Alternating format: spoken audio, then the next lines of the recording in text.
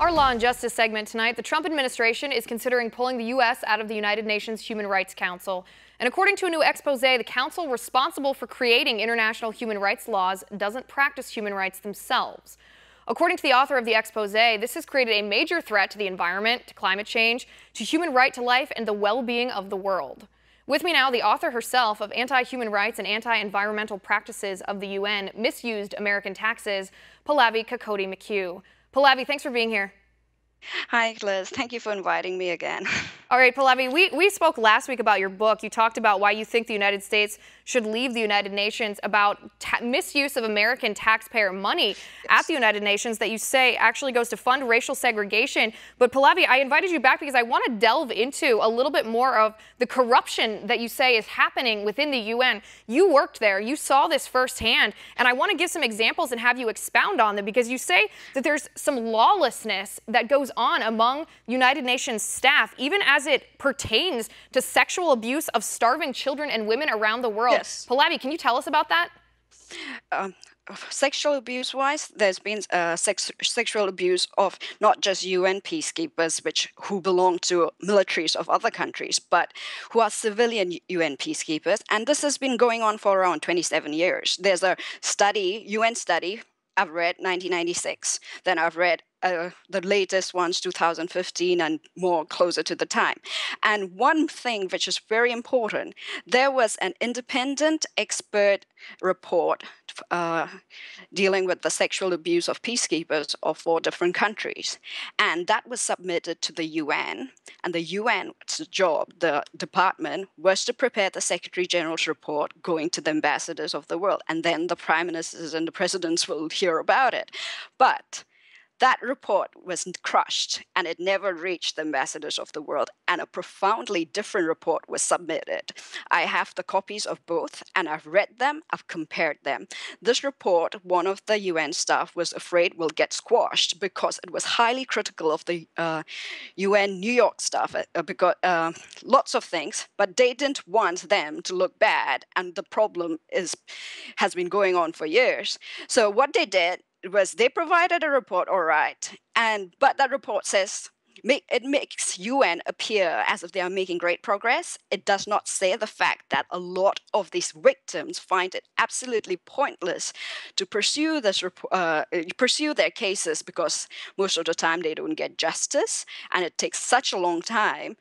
And these so are the things. Let, let, me interject here. Would it, would you say it would be fair to say that the United Nations covered up this sexual abuse? Yes. And that the victims yes. the victims never saw justice and it was never investigated fully because the United Nations was worried about their own name being sullied?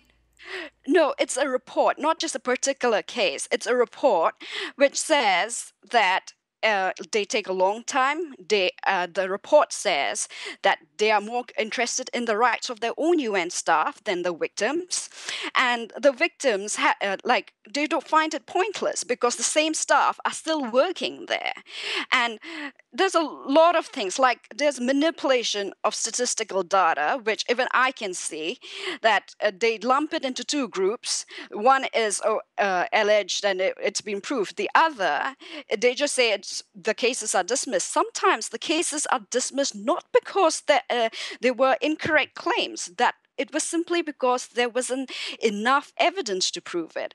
But they are using that statistical uh, data to say, oh, there are a lot of people complaining about us, but we are not the baddies, kind of a Right, and, and let me just let me just clarify this to make sure that they have the facts here perfectly clear. Tell me who the perpetrators of these sexual abuse allegations were and who the victims were. The, uh, the victims were the ones uh, in these conflict areas, civilians, and uh, sometimes refugees.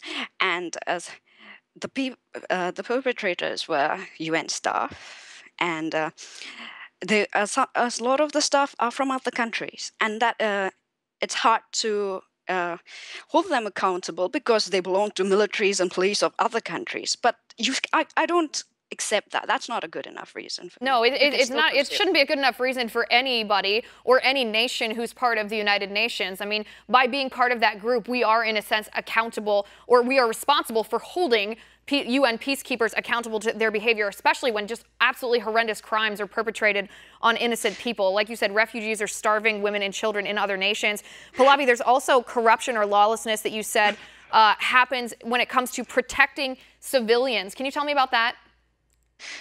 Uh, the thing is, the Haiti issue that they went, United Nations are responsible for around 10,000 deaths in Haiti because their leaking pipes infected the waters of Haiti and they had cholera. Before that, they didn't, for I think for the last hundred years. And they knew about it and they kept on saying no, no, no, even when there were scientific reports linking it. And then it was last year they finally accepted. And then they say, oh, we've got diplomatic immunity. This whole diplomatic immunity, I consider it a license to kill, destroy, abuse but zero accountability. Like I heard your previous segment about can we sue them? You can't because they have diplomatic immunity. And like I wrote this book because I know I know my choices were there was I think there's only one or two people till uh, till date who has taken the UN to court. This woman was sacked. She was a UN investigator. She was sacked. Her name is Caroline Hunt Matthews, and she was sacked because she reported a rape. And they sacked her. And then, after 10 years of a legal battle, she finally won. And the verdict was that they sacked her. They weren't right to sack her. Right. And for me, I knew what was I was up ahead. I'm standing up against the most powerful organization in the world. I had to do it to, in, through a book so that they can crush the story.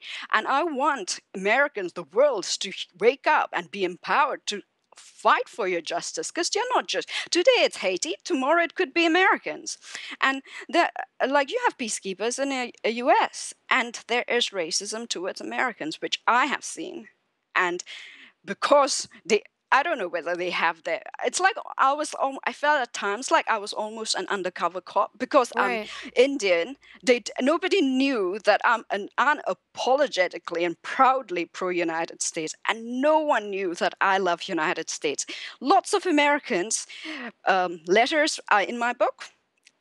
I was told right, not to be kind. Not I was told off kind to uh, like i was kind to someone an American in pain. I've, it's like giving a, a, cough lozenge to someone who was coughing, and I've done that act in so many countries in the world. No New Zealander told me, Pallavi, don't do it. No Australian told me, no, don't do it. And here I was being told, by a senior UN officer who should know the law more than anybody else in the world because they were very high up in the rank.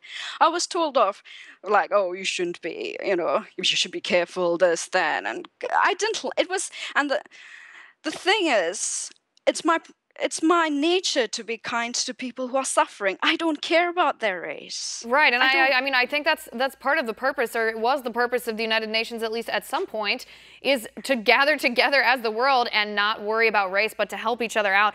Pallavi, these these allegations that you make, they're absolutely mind-boggling. I, I, I commend your bravery for exposing this because, like you said, it puts you in a position where there's a lot of power against you. A lot of people don't want you to be saying what you're saying. Yes. I appreciate you having the courage to come on this show, to write your book, and then come on this show and talk about it because, like you said, 10,000 deaths in Haiti. There were women and children in other countries who were sexually abused, mistreated, raped, and it was all covered up by the UN. And I appreciate you coming on the show and talking about it.